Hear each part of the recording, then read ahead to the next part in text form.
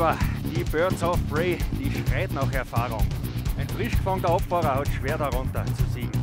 Schauen wir es uns an.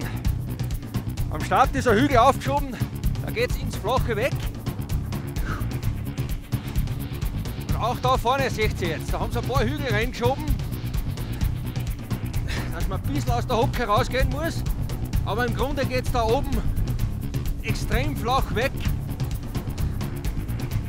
Was einfach wichtig ist, einen schnellen Ski haben, gut gleiten und sich konzentrieren auf das, was bevorsteht. Und jetzt kommen wir schon hin. Die erste eisige Kurve, Doppellinks, Einfahrt in den Steilhang, schneller Wechsel und ab, jetzt geht's nur noch steil bergab. Da ist grad.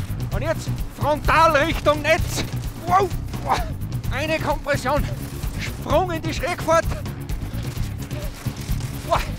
Jetzt geht's dahin, Schlag auf Schlag.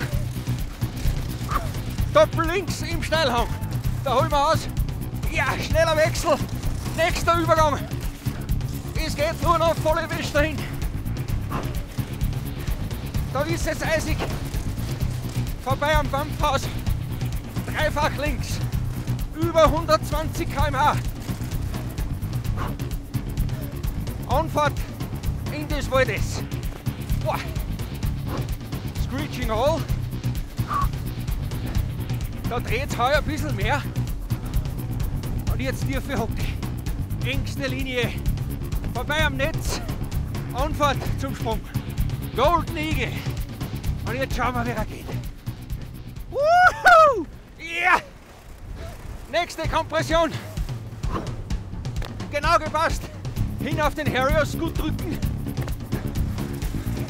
Und jetzt Richtung Ziel.